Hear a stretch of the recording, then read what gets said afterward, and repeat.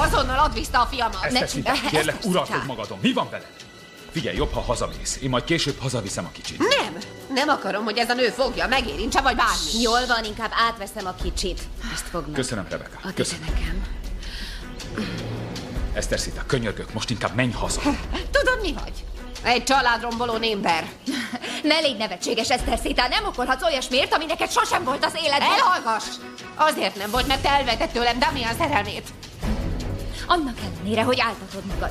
Damian sosem szeretett, fogd fel végre, és soha nem is fog.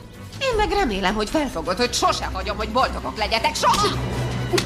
Mi ütött beléd, Eszter Szita? Mi bajod van? Higgadj le! Kérlek! Tűnj innen! Istenem, mégis mi történik? Damian, ne haragudj, de ha azt hiszi, hogy elviselem a sértegetéseit és az ütéseit, akkor bizony nagyon téved. Nem, te ne haragudj, drágám. Nem kell elviselned semmit.